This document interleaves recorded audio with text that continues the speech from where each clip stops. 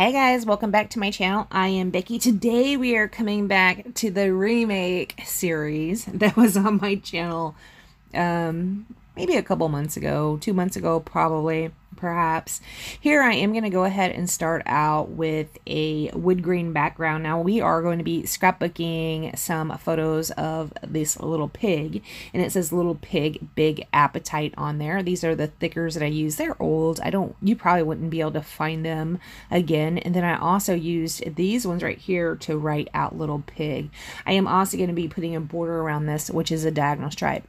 So again, on this series, it was, I was taking an old um, layout. So this is a video that has already been up on my channel. So I'm revoiceovering re-voiceovering it over. Is that how you say it? I don't know. I'm doing the voiceover again and then I'm going to copy this layout and I like this layout the way it is. So in the past, I was copying the layout to improve on it, but in this case, I'm copying the layout because I think it is freaking awesome. I love the way this came out. It's so cute. So I am going to be copying this. The next video you see on my channel will be the copy. I'm going to go ahead and paste them maybe an, an, hour apart. This one will probably go up at 5, and the next one will probably go up at 6 a.m. Those are a.m. Eastern time zone. So here you can see I did cut out the center of that. I went ahead to, I just wanted to say that. I love a diagonal stripe. I really love a diagonal stripe on a border of a page or on the border of photos. I think that is amazing. I don't know that I'm using a sketch on here. Usually I will put it in the top right hand corner of my screen. Just going by what I'm wearing, it doesn't look like this one was that long ago, but also I have acrylic nails on, so I know it's at least over a year old. So there you go. I am going to go ahead and commit to most of my um, title right here. It says Little Pig, Big Appetite. And I'm going to put my photos down like this. I do want to have a piece of paper under there. So I'm going to go ahead and choose this one. This one I think is out of a paper pad. That striped one, that diagonal stripe one was a Simple Stories. But this one I think is out of a paper pad. I will round the corners on this over on the right hand side of it. You can see right here I'm um, using my photos, kind of trying to measure out where I want it. Now, in my remake, I do pretty much the same thing. Um, the photo position is going to be a little bit different on the new one, but yeah, I really like how this turned out. I did ink all the edges on this layout, which is really cool. I super enjoy doing that. On the remake, I don't do that, but um, kind of maybe I should have because that is something I really enjoy looking back and watching this. I'm thinking that yes, the inking of the edges is something I really enjoy. So you can see right here, I didn't like the way they really fit on this paper, so I am going to trim them down a little bit. I can't tell from where I'm looking, you might be able to tell, I can't tell from where I'm looking what measurements I actually made them. You can see right here, I'm probably watching something on YouTube or Netflix. So I was just changing it to the next one. So right here is about how my um, photos are going to be placed down right here. I'm I don't end up matting these. Also a little bit weird for me. A lot of times I I would say 80% of the time I mat my photos on something, whether I mat them individually or mat them all as a group. In this one, I did not do that, so that was pretty interesting. I can see I did pull out a piece of Jen Hadfield paper, and these have all those squares that have different sentiments on them, and it looks like I'm going to cut up three of them. It looks like originally I had intended to put all these sentiments down there at the bottom of the page, but that's not what I'm going to end up doing. You can see that cute little sticker sheet over to the left hand side. I think that is like um, I don't want to say a generic brand, but it might be probably from it might be a Recollections, probably from Hobby Lobby or Michaels. On these squares, I'm only going to end up using the one that says eat, drink, and be cozy.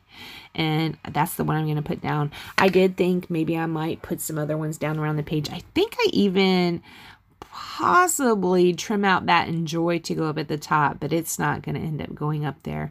You can see on that sticker sheet, so cute. These apples are adorable. Again, I don't know exactly where they come from. I believe it's Michael's or Hobby Lobby, and I do believe it might be the generic brand, Recollections or Paper Studio. Probably Recollections. But you can see right there where I tried to use that Enjoy. It didn't really work, but I did find some wood veneer. So right here, I do pull that one out. This is real life. And I go ahead and layer that apple up on top of it. It looks really cute, right? I love that apple basket as well. The reason these apples came into play is because pigs and it's funny because the image I have in my head is the pig on the cartoon type um, Thanksgiving table, and it has the alp the apple in its mouth. so it's kind of gross why that apple um, icon stuck in my head, but it did, and I just had to use it. I do find some more um, wood veneer. This one I put down the bottom says yum, and you can see up there at the top where I put that apple. I did this. Uh, few minutes ago, but you can see where I put the apple on top of that wood veneer square. The square had a heart engraved on it, but I went ahead and covered it up just with an apple. I thought that was really cute. These are some cute puffy stickers. So when you go to Michael's or maybe when you go to Hobby Lobby, don't discount the um, quote generic brands because I mean, you can get some good use out of them. They are just as cute as what you might get from American Crafts oftentimes even more cute. So yeah, uh, don't discount that. Uh, a lot of people I know don't like going to the big box stores like Hobby Lobby or Michaels or Joann, but I mean we've got some cute stuff going on over there. So I am gonna do use some finishing touches over here. I'm gonna end up using some champagne cover or colored like half dots. I don't know what they're called, baubles or something like that. These, I got these at Close to My Heart quite some time ago. I mean, like several years ago before I was a consultant. Right now, it is June of 2020, and I've only been a consultant over there for a year. But yes, I picked these up several years ago when I was buying from Close to My Heart before I bit the bullet. All right, that was weird. I don't know what happened. My, my, uh, video just cut me off. Anyways, I got these years ago before I was a consultant. So I'm going to go ahead and put those down around the page. That was so weird, was it not? I'm going to put those down around the page. They're really cute. Um, it's a champagne color, which kind is lighter than the wood grain in background, which kind of gives it a little bit of oomph, right? It's like not as light as the wood veneer, I don't think, but it's darker than the wood grain. It sits right there in the middle. It looks really cute. Am going to end up drawing some lines on here to do some journaling. Now, right here, when I'm looking back at this um, layout, this is before I have filed it, it I, I have written the journaling on it. So the journaling is there right now. At first i thought this is something that tiffany might want because tiffany and cameron were with us when we went here but she didn't end up taking this layout. So i went ahead and wrote the journaling on it and it's going in my album because again it's you know i was there it's something that we had done together so that was pretty cool i do love these little bubbles i mean i just think those are so cute I hope we come back with some more of those. This pack had like a dark brown, medium brown, and then the champagne. Here I'm going to go ahead and cover up my lines because I'm going to do journaling there, right? So I cover them up with this packaging and just do a little bit of um, spritz with some Heidi Swapp Color Shine. That's either in bronze or it's in tea. I'm not sure what which color I ended up using. So yeah, this is pretty cute. And when I do the remake, I stay pretty close, guys. I mean, I just love this layout, so I didn't go too far out of the box when I went ahead and remade it. I thought it was so cute.